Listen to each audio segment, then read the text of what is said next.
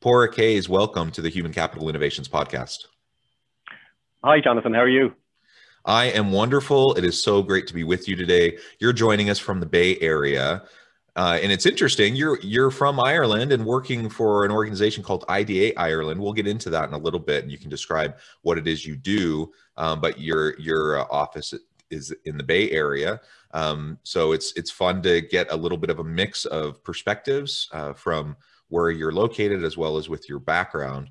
Uh, I'm excited for the conversation today. We're going to be focusing on the U.S. tech industry and really what companies in 2021 need to be doing and thinking about as they ramp up following the global pandemic.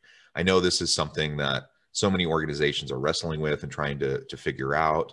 Uh, we've been through a really hard 14, 15 months, and now we're kind we see the light at the end of the tunnel. Things are starting to shift back. Uh, but things have changed uh, and things aren't going back to the way they were and so we have to continue to to push forward and prepare for an uncertain future so it, this will be a fun conversation as we get started i just wanted to share Páraic's bio with everybody. Páraic Hayes heads U.S. West Coast operations at IDA Ireland, the investment agency of the government of Ireland. He has spent 15 years advising leading technology and life science companies from across the US on global expansion projects. Over 1,200 international companies currently use Ireland as their international hub, including many of the world's most innovative and successful companies across technology, life sciences, and financial services. Ireland is also increasingly the go to location for fast growing companies internationalizing for the first time. Prior to joining IDA, Páraic was part of the Irish team of a leading German financial services company. He also spent eight years in marketing and consultancy roles within the technology and financial service sector across Europe. Uh, again, wonderful background. I'm super excited for the conversation. Anything else before we get started with the conversation that you would like to share with listeners by way of your personal background, uh, your personal context? Uh, no, I suppose I, I sh- the first thing I should do is correct my bio. It's probably a little bit out of date. It's actually 50, 1,500 companies now oh, um, wow. that, that, that call Ireland their international home from home. Um, but yeah, look, so I've had a kind of a unique kind of career. The early part of my career was spent in Europe. I actually spent some time in, in, in kind of in, in recruitment and IT recruitment and working in tech. Uh, when many of your working on problems that many of your listeners wouldn't have heard of, such as the year 2000 bug and the euro conversion um, projects, but uh, have been in the US for the last 15 years, um, at Silicon Valley for, for, for, for almost 10. And uh, yeah, it's been an interesting time, I think, to be kind of at that intersection between technology and innovation, and then what, what IDA does, which is which is around international expansion. Yeah, that's that's great. And I do remember Y2K bug, and I was actually in uh, Seoul, South Korea, um, wow. that day, and I was so anxious to like, what's going to happen? Um, I actually went with some buddies. We hiked up the mountain for the the uh, millennial sunrise, and then kind of expecting to like walk back down and have like chaos ensue and nothing yeah. happened, but it was yeah. good times. I was in I was in uh, rural County Donegal, so even if the lights had gone out, I don't think we would have noticed because it was pretty pretty dark up there up there anyway.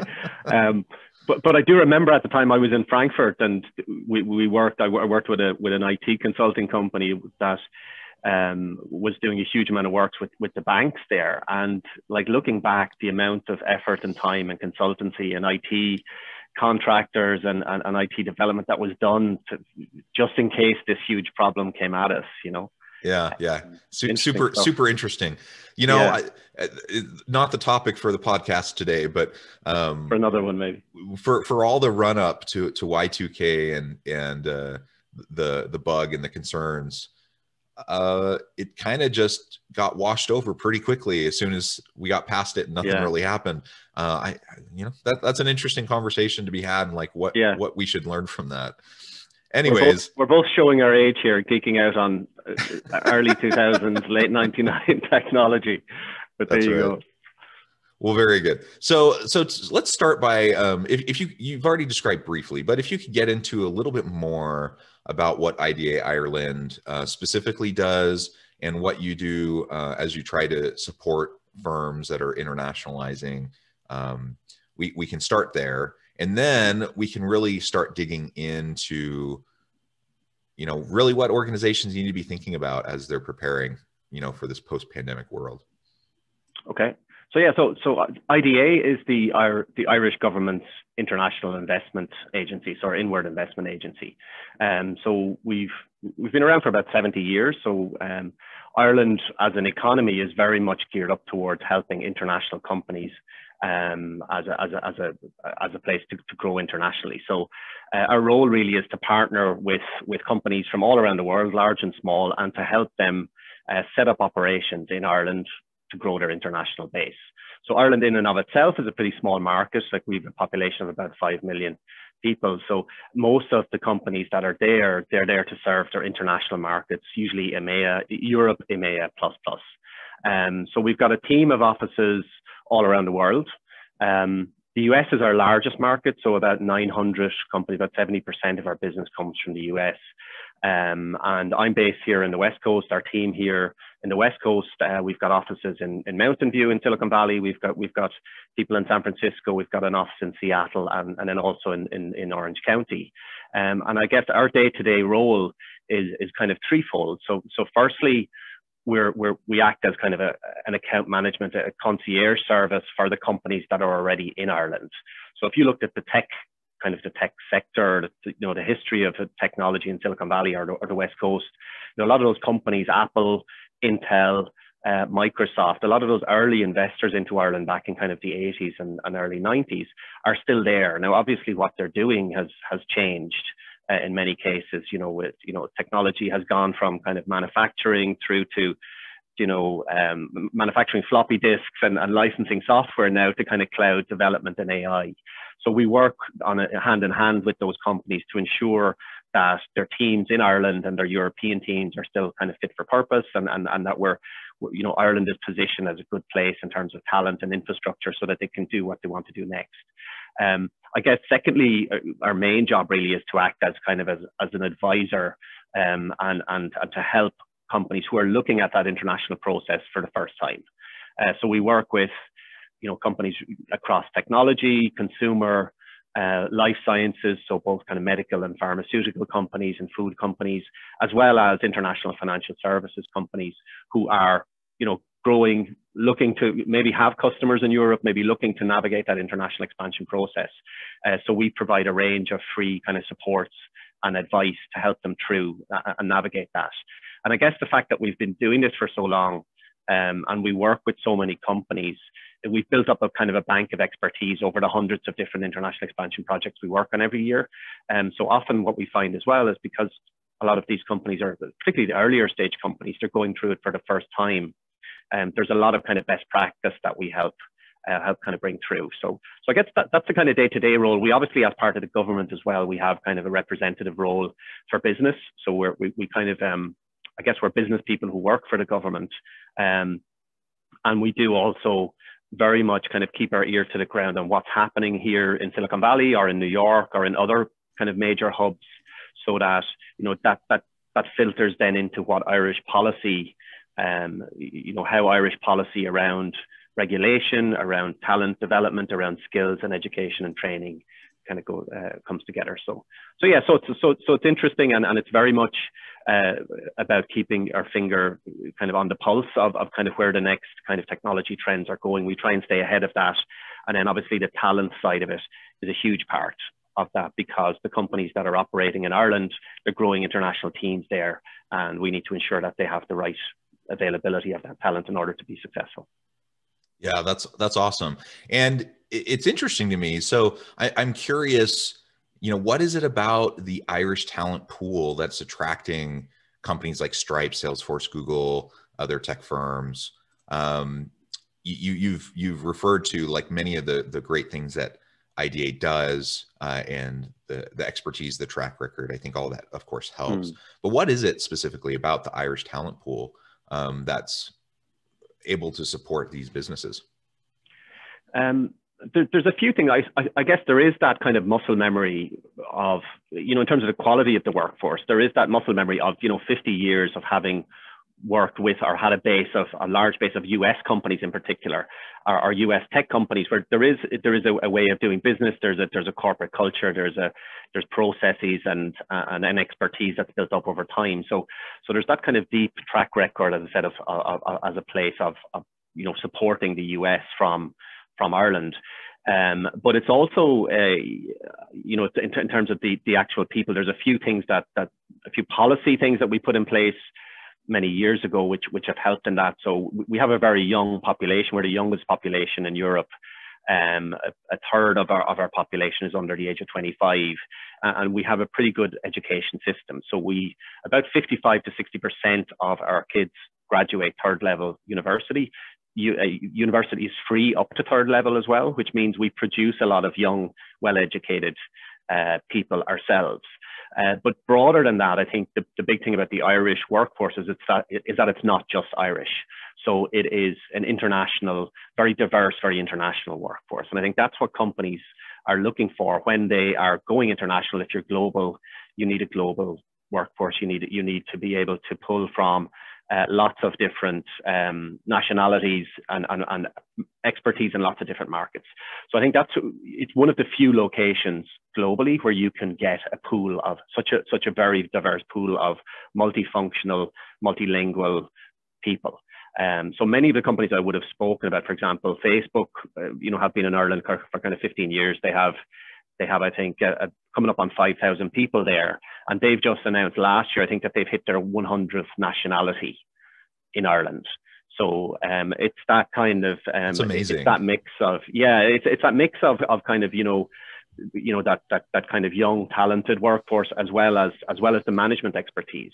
So I guess you know the other kind of advantage to it is that um, you know a lot of companies you know when they're going overseas for the first time are looking to tap into markets you know, there's a pool of people who've kind of done that before. They've they've done the playbook. You know, so so so that management talent.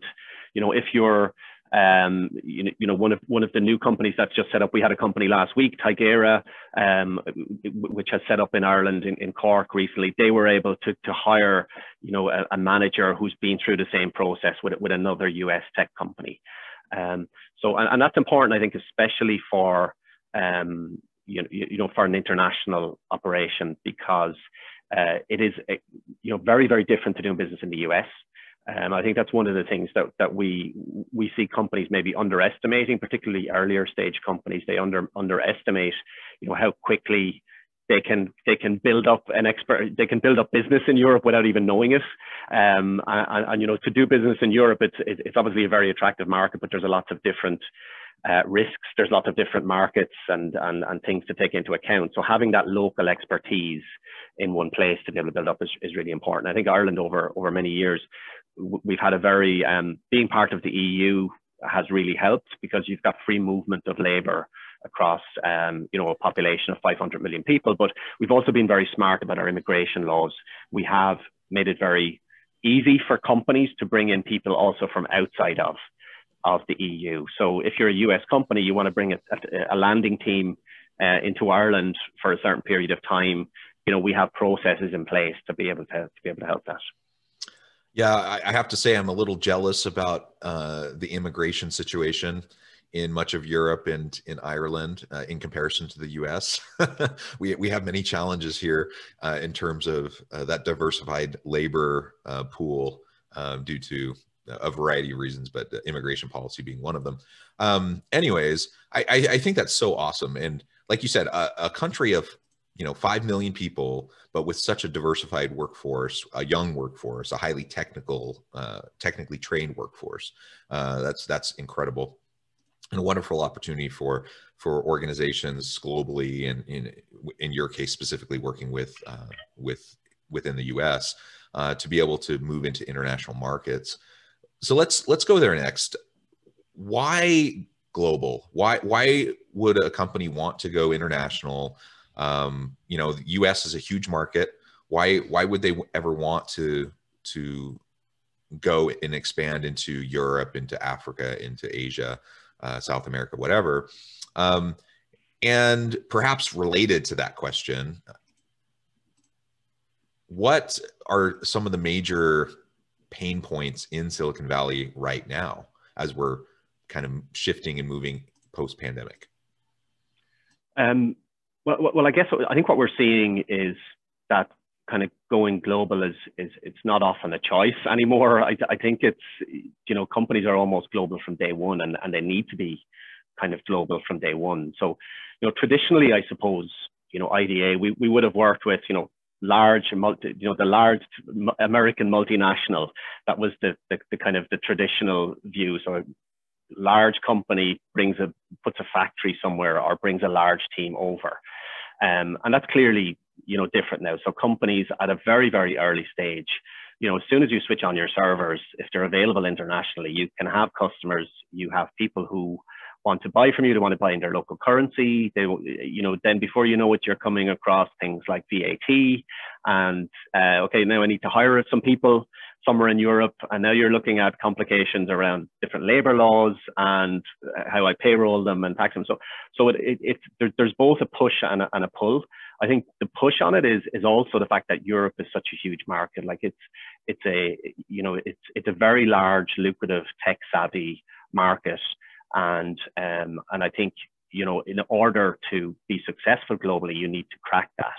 Uh, and also what's happening, you would have seen it with, with a lot of companies, is that if you don't get there first, then somebody else in Europe is going to come up with that idea and, and eat your lunch. So there's, there's both a, a push and a pull. The, the push being, you know, we need to get to that market quickly. We need to, we need to, there's revenue there. We need to win. And then the pull is that I've got customers who need to be served. And, you know, so, so I, th- so I think often it's not a case of, of, of if, but when. Um, and like I know, for example, you know, you know, even working, you know, looking at Airbnb back in the day, um, you know, they very quickly had had had had kind of competitors pop up in Europe. They came up with this fantastic kind of model and idea, and you had these kind of clones or these other companies in Europe come up, and I suppose they were fortunate at the time that they they very very savvy management who were very, you know, I think that leadership team were very foresighted in, in what they wanted to do and how they went about it. But they also had the funding in order to be able to acquire some of those companies um, and, and, and kick that on. So um, most of the of the investment we see when we're talking to companies um, is is a mix of that. Look, you know that that that um, that that that kind of market uh, go to market kind of uh, driven. Um, what I would say is that as well, you know, where it used to be the larger companies that, that were coming in, we now like we work with on the west coast of the US a new company about every two weeks that's set up setting up an operation in Ireland, and about half of those companies would have less than kind of three four hundred people globally. So usually, kind of the sweet spot we see is that where kind of um, Series B companies raised maybe 20 to 50 million. Series B, they've probably put some feelers on the ground. They might have a couple of people in, in, in the UK or, or other markets. And then um, they really see that they need to they need to kind of switch and, and, and flick on that international and that's where they, they they start to kind of put put serious bodies on the ground i think if you look at some of those companies as well you'll see that you know about 25 to maybe 25 to 35% of their revenue is already international, is ready from outside of the US by the time they hit that kind of that mark. Um, so, so, so, so there's that side of it. In terms of, I guess, Silicon Valley, you know, I, I, I, I wouldn't say that there's really kind of a pain point. I think it's a, it's it's a good, they're good, they're good issues to have to a certain extent, but we certainly see like huge growth in Silicon Valley. There's huge money going into um, going into tech in particular. There, there are huge, there's a huge number of companies that are growing.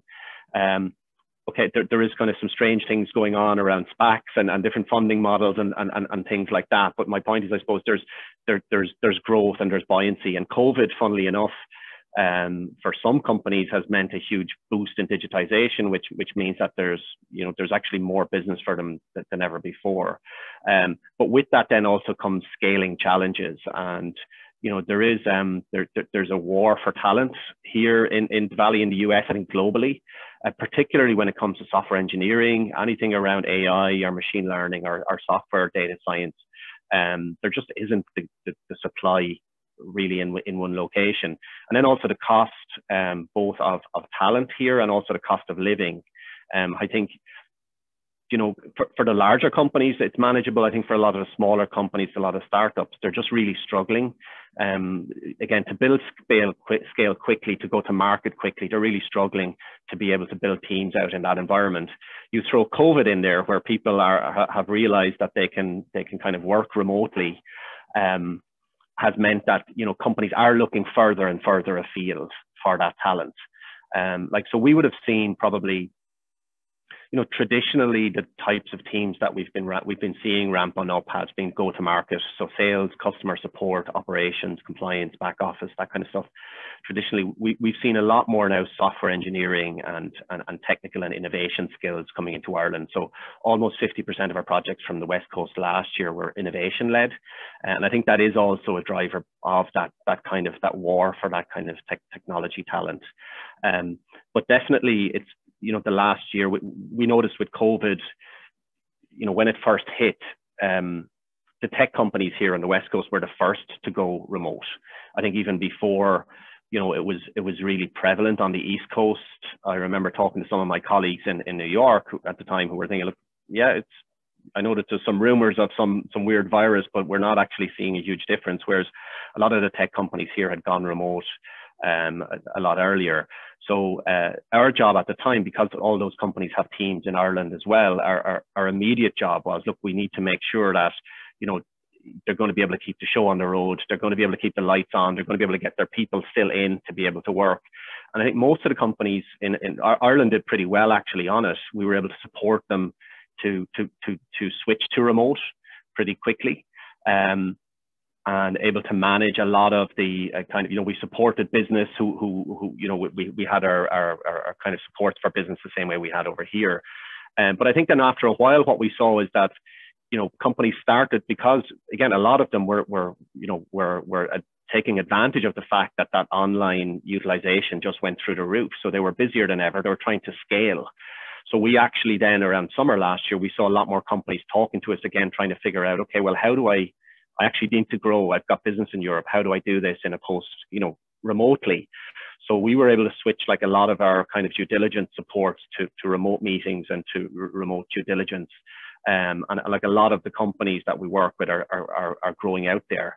Um, I think now the challenge we're seeing both here and in Europe is what does that look like post COVID, right? So you've got definitely, I think you know hybrid is the new buzzword that everyone is, is talking about. I think there, you know, flexibility is you know a must for companies and for employees and as retention strategies. Um, there's opportunity in that. It allows companies to uh, you know to pull from a, wider a wider pool. Uh, which they're taking advantage of. I think it's probably going to have some effect on cost and things like that. I know that people here in the Bay Area, for example, are moving to places like Idaho and Utah and, and, and other places and further afield. And, you know, companies are paying them less to do that. I think that, that, that that's one thing. But the other challenge then is, you know, there is a secret sauce kind of about, you know, in terms of creativity, particularly for innovation, of having people together in an office. So how do you manage that um, so that you keep that flexibility that people are looking for, but also are able to um, you know, you're able to make sure that people are in an office environment in some shape or form. So I think we're seeing that hybrid in, in, in, Europe and in Ireland.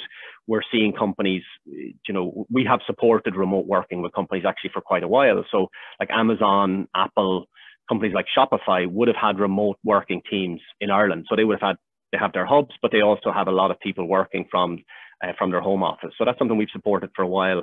Um, I think the challenge in Europe as well is where you have um, because eh, you know the, the, the, the risks of having a very diverse or very dispersed kind of workforce is there are you know in in EMEA there's 100 100 odd countries you know that you might be supporting from your European hub or from your EMEA hub you know you can't really have a hundred different payroll systems, a hundred different labor law systems. So, so there are compliance issues and compliance um, kind of risks that companies do need to do need to look out for when they're when they're allowing for kind of a, a dispersed team internationally. Uh, so I think what we're seeing is we're seeing companies look at the different hubs where they want to, where they're comfortable to have people hubbing out of. So they're looking at different locations where they've got the right infrastructure, they've got the right, um, let's say, legislative framework where there's business friendly kind of operations, and then they're they're managing that. Um, but yeah, but it's really interesting at the minute to see how um, how that is that is going to work out. I, I, think Ireland has probably done you know quite well. Um, you know, in terms of the, the, the numbers, like international investment dropped by about 40% globally last year. So foreign direct investment dropped dropped a huge amount. Ireland's share of that actually held up pretty well. Um, I think a lot of that was because there's that familiarity with Ireland, there's that track record, and people couldn't travel, but they knew, look, you know, I, I know what I'm going to get in Ireland. There's there's a there's a, a very solid workforce. There's a pro business kind of environment. So we were able to support companies to, to scale those teams uh, globally um, and, and remotely. That is all incredibly fascinating. Um, and my goodness, there's so much more that we have to discuss. Yet I recognize we're about out of time. Sorry. uh, so I think what this means is, if you're ever willing, I would love to have you back so we could continue to dissect this because there's so much that you just said that I think would really be wonderful to dig into. Um, but just to, to, recap and summarize a little bit from some of the main points.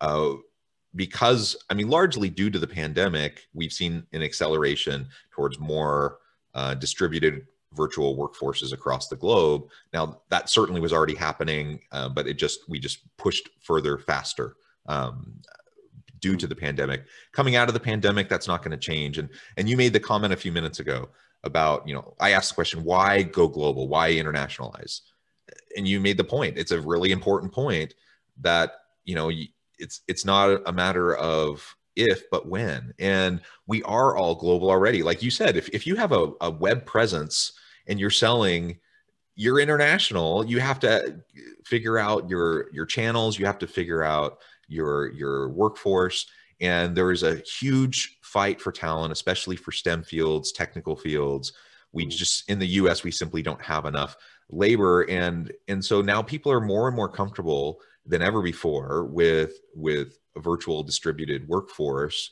Let's leverage the the talents and the the human capital that's across the globe. We don't have to restrict ourselves geographically particularly in a place like the bay area that's so crazy expensive in terms of cost of living in terms in terms of um, the labor market like we can tap in all over the world and so your organization is one of many that's helping organizations to do that and it's it's very very important as we come out of the pandemic that we we strategize and wrestle with those realities and figure out what our organization is going to do to another point that you made about you know making sure that we're still getting that secret sauce of the culture the innovation uh, all those things that we need to have as we're balancing a hybrid workforce you know uh, in in the office team with distributed remote workers from across the globe uh, these are things that we're going to con- continue to have to wrestle with and figure out what's going to make sense for our organization within our culture um, to drive value in the marketplace. Mm.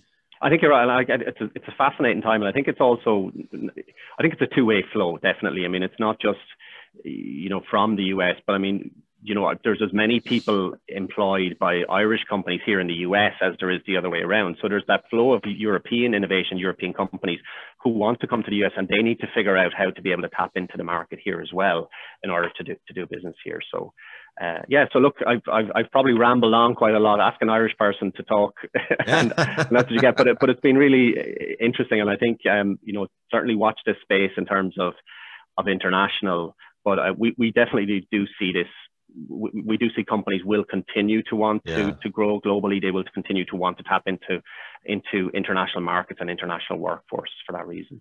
Yeah, absolutely, absolutely.